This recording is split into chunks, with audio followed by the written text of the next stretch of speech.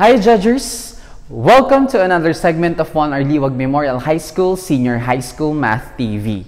And for today's video lesson, we will discuss the binomial theorem. Last time, we were able to discuss some methods or some ways in which we could expand a binomial using Pascal triangle and combination.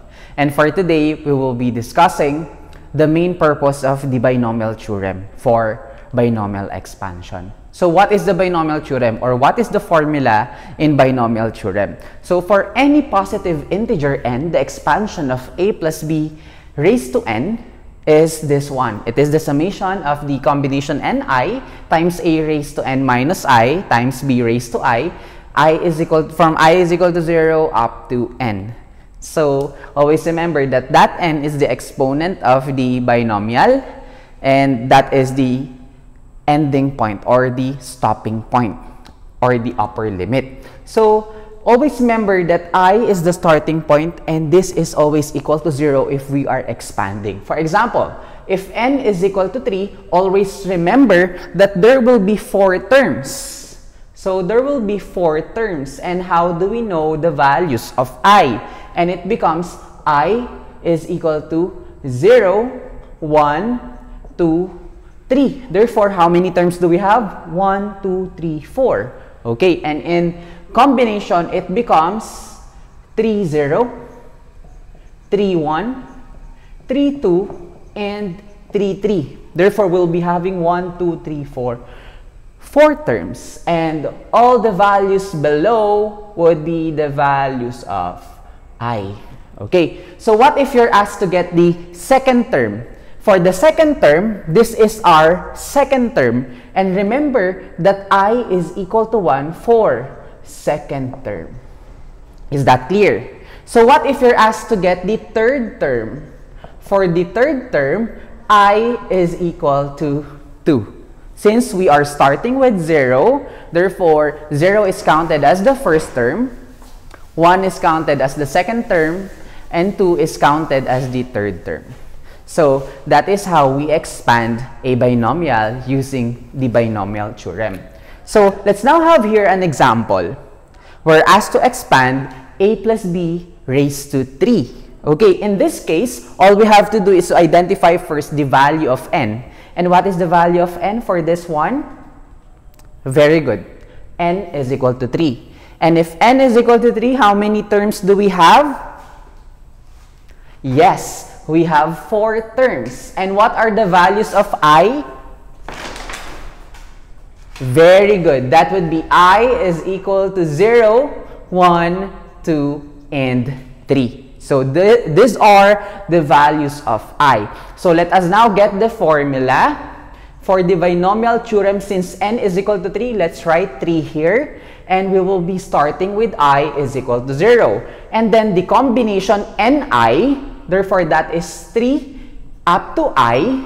And then we'll be getting the value, the value of the first and the first and the second term for this one. That is a plus b. Therefore, this is a raised to 3 minus i times b raised to i. And what is now the expansion? Okay, if we will be expanding this summation notation, this becomes 3, 0, combination of 3, 0, a raised to 3 minus 0, since this is our combination, b raised to 0 plus 3, what? Very good, that is 3, 1.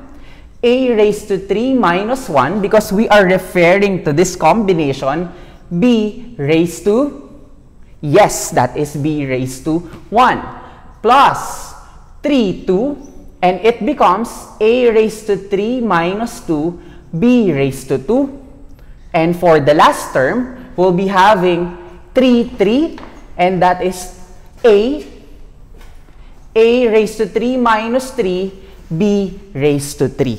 So how many terms do we have again? 1, 2, 3, 4. We'll now be having 4 terms. So how do we solve now for the combination? Actually, you could use your calculators in order for you to get the combination or you could use your Pascal triangle in order for you to get the 3 combination of 0. But then, for this one, let us try to use the formula. And the formula co for combination is For example, NCR, therefore that is n factorial over r factorial times n minus r factorial. Okay, this is our n, this is our r, or this is our n, or that is our k. Okay, so let us now try to solve for this one. Therefore, this becomes 3 factorial over r factorial, which is 0 factorial. And always remember that 0 factorial is equal to? Very good, that is equal to 1. That is n minus r 3 minus 0. This is 3 minus 0 factorial. Okay, so I will just be using this for the first one. And for the succeeding terms, I will just use my calculator to solve for the combination. Okay, and this is now equal to a raised to 3. b raised to 0 is just 1, right?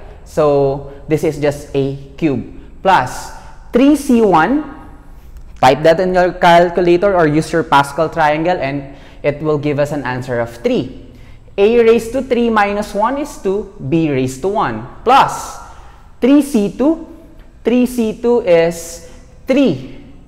a raised to 3 minus 2, that is 1, b squared. And the last term is 3c3. What is 3c3?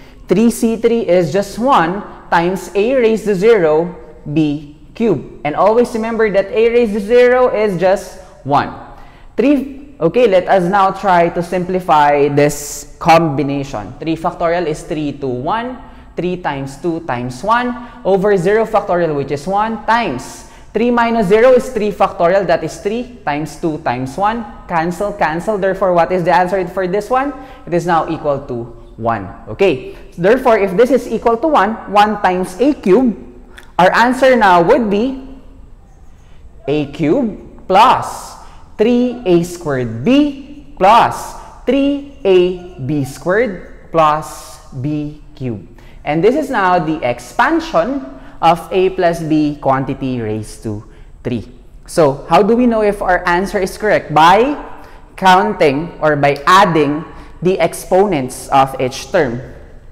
3, n is equal to 3. 2 plus 1, 3. 1 plus 2, 3. 3, 3. Therefore, this will now be the expansion of a plus b raised to 3. Is this clear? Very good. So let's have another example.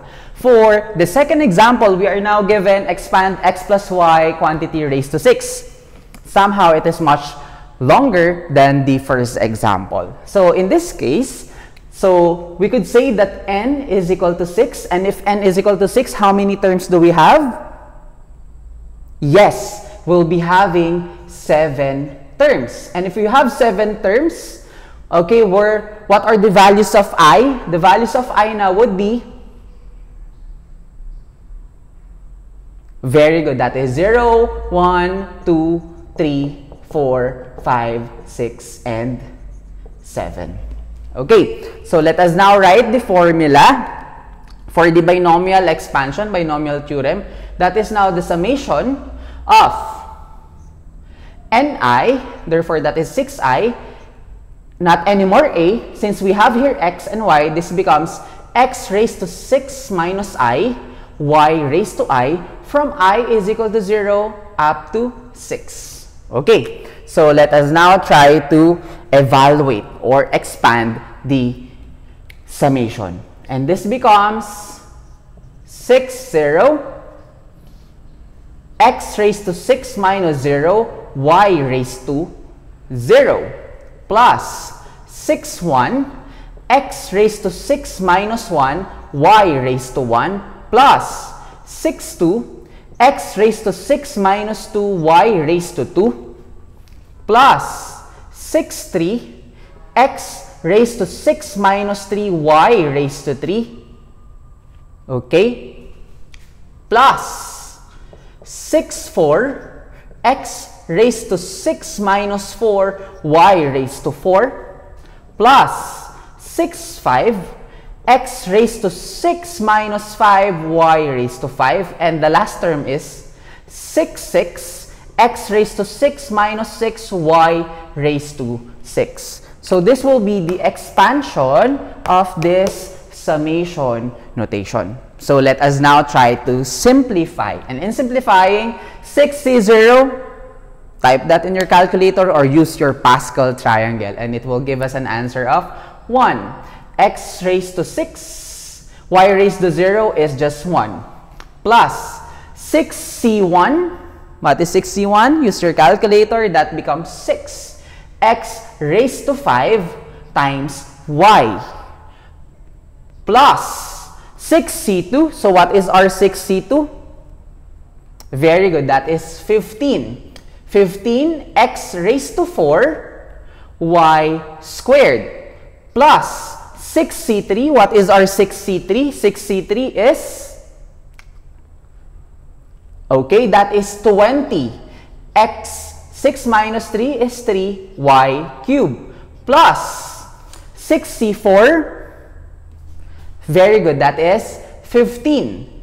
x raised to 2 y raised to 4 plus 6c5. What is our 6c5? Our 6c5 is 6 x raised to 1 y raised to 5. And the last term now is 6c6. That is just 1 times x raised to 0 y raised to 6. So let us now write the answer Therefore, this becomes x raised to 6 plus 6x raised to 5 times y plus 15 times x raised to 4 y squared plus 20x cubed y cubed plus 15x squared y raised to 4 plus 6x y raised to 5 plus 1 times x raised to 0. This is just 1 y raised to 6. And this will be the expansion of the binomial x plus y quantity raised to 6. So let's try to know if our answer is correct by adding the exponents. 6, 6, 5 plus 1, 6, 4 plus 2, 6, 3 plus 3, 6, 2 plus 4, 6, 1 plus 5, 6, 6, 6. 1, 6, 15, 20, 15, 6, 1. And you can get it using your Pascal triangle or by just typing the combination using your calculators. What if we're now asked to expand a binomial containing numbers and coefficients? Okay, so last time we were just, um, last examples, we were only given variables to expand. What if it now contains a number and different sign like negative. Okay, is the process still the same? Let's find out. Okay, so we're now asked to expand 2m minus 3 quantity raised to 5. If we're given this one, let us first write n is equal to 5. And if n is equal to 5, how many terms do we have? Correct. We have 6 terms. And what are the values of i? i would be for the first term, 0. For the second term, 1. For the third term, 2. For the fourth term, 3. For the fifth term, 4. For 0, 1, 2, 3, 4. And for the sixth term, we have 5. 1, 2, 3, 4, 5, 6. Therefore, we'll be having 6 terms. Okay, so let us now use the formula for binomial theorem. And the formula now would be the summation of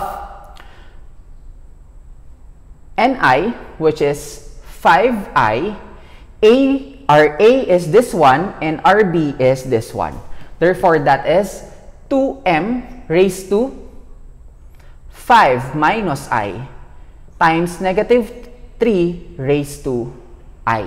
Okay, and this is from i is equal to 0 up to 5. Okay, so let us now try to expand.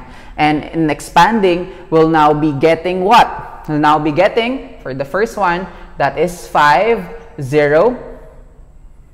That is 2m raised to 5 minus 0. And we'll now be getting negative 3 raised to 0 plus 5, 1. 2m raised to 5 minus 1 times negative 3 raised to 1 plus 5 to 2m raised to 5 minus 2 times negative 3 raised to 2 plus 5, 3.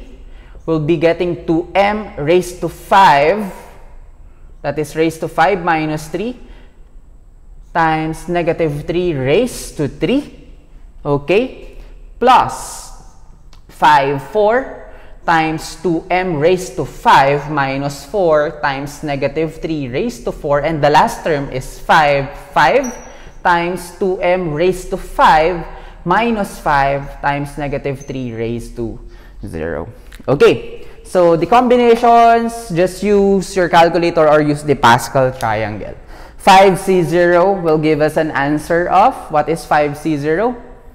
Very good, that is 1. Raised to 2m raised to 5 minus 0, which is just equal to 2m raised to 5. Negative 3 raised to 0 will just be equal to 1. 5c1, what is 5c1 plus 5c1 is just 5. Multiply this to 2m raised to 5 minus 1 is 4. Negative 3 raised to 1 is just negative 3. Plus 5c2, what is our 5c2? That is 10 times 2m raised to 5 minus 2, which is 3. Negative 3 squared, that is, what is negative 3 squared? Very good, that is positive 9. Plus 5c3, what is our 5c3? We'll be getting 10 for 5c3. 2m raised to 5 minus 3, which is 2. And then negative 3 cube. What is our negative 3 cube? That is negative 27. Plus 5c4 Therefore, we'll be getting what is our 5C4? Our 5C4 now will be 5 times 2m raised to 5 minus 4, which is 1, negative 3 raised to 4 is, what is negative 3 raised to 4? That is positive 81. And for the last term, that is now plus 1 times 2m raised to 0. This should be negative 3 raised to 5. I'm sorry, this should be negative 3 raised to 5. The last term for this one should be negative 3 raised to 5. 1 times 2m raised to 0 and we'll be getting times negative 3 raised to 5. And what is negative 3 raised to 5? That is negative 243. Okay, so let us now try to simplify. So in simplifying, we'll now be getting 2 raised to 5 is 32. Therefore, this becomes 32m raised to 5 plus 2 raised to 4 is 16. 5 times negative 3 is negative 15. Negative 15 times 16. Therefore, that is negative 240 m raised to 4. Okay. Plus 9 times 10 is 90. 2 cube is 8. 90 times 8 is 720 m cubed. This is negative 27. This is 10. Therefore, we'll be getting negative 270. Negative 270 times 2 m raised to 2. Therefore, this is 4. 4 times negative 200. 4 times negative 270 will be negative 1080 m squared. Plus 81 times 5 times 2 is 810. Therefore, that is 810 m. And the last term now, 1 times 2m raised to 0 is just 1. And that is negative 243. So that is negative 243. And this will now be the final answer for the expansion of 2m minus 3 quantity raised to 5. Again, do not forget that the last term is the exponent of um, this one. Okay, so remember that the first term will contain decreasing exponents, while for the last term, it will be having increasing exponents and um, it will start with 0. So that is how we expand using binomial theorem. If you have comments, if you have suggestions, and if you have clarifications, do not hesitate to message me on my Facebook account, Judd Edward Hernandez, my Instagram account, and on my Twitter account.